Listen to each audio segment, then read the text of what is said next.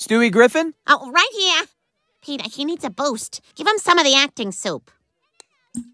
I want to say curse words!